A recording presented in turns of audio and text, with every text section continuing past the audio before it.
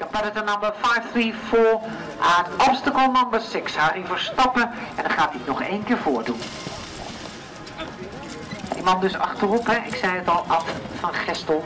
En met Rolanda, Petronella en Twen Josephine is die een hindernis een rol 6 van de test.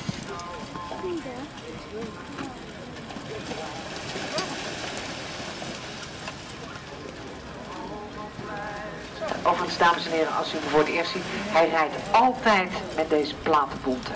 Dat vindt hij mooi.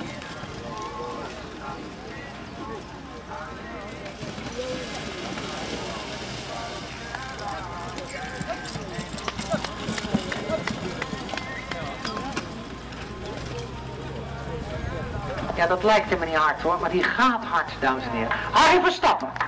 Mooi gereden hoor, Harry.